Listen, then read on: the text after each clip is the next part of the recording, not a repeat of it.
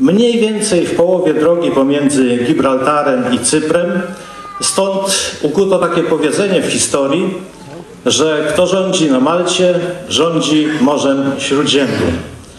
E, dzisiaj archipelag maltański to są trzy wyspy, Malta, Gozo i Komino.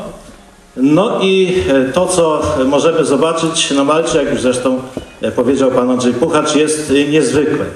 Proszę Państwa, tak do końca nie wiemy, kim byli najstarsi mieszkańcy Malty.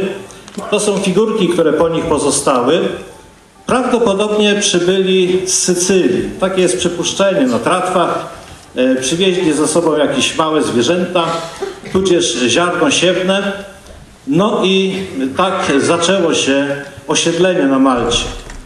Ci pierwotni mieszkańcy Malty budowali wspaniałe świątynie. Świątynie, które dzisiaj nazywamy świątyniami megalitycznymi.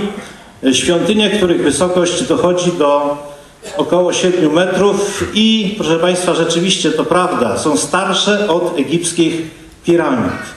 Wszystko wskazuje na to, że uprawiano tam kult Matki Ziemi. Świadczą o tym figurki takiej dość obfitej w kształtach kobiety, e, która tę Matkę Ziemię miała symbolizować.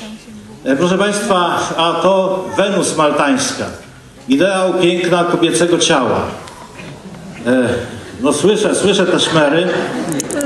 Drodzy Państwo, ten ideał w ciągu wieków się zmieniał. Gdy popatrzymy na przykład na obrazy Rubensa, te bardzo okrągłe kobiety, które są przeciwieństwem dzisiejszych modelek zwanych wieszakami, to musimy stwierdzić, że w ciągu wieków ten ideał się rzeczywiście zmieniał.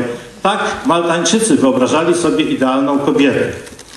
Nieco więcej wiemy na temat Fenicjan, którzy na Malcie założyli swoją kolonię. Oni przywieźli także kult boga Melkarta, który miał opiekować się kupcami, żeglarzami, tudzież właśnie tymi, którzy zakładali kolonie. No a jeśli chodzi o Rzym, to właściwie mamy dwie notatki w pismach pozabiblijnych. Pierwsza mówi o tym, że Maltańczycy byli e, zachwyceni pieskami hodowanymi na Malcie, tak zwanymi Maltańczykami. I druga mówi o niejakim Weresie, który był gubernatorem prowincji, do której należała Malta, który okradł świątynię Junony, znajdującą się właśnie na Malcie, z kości słoniowej.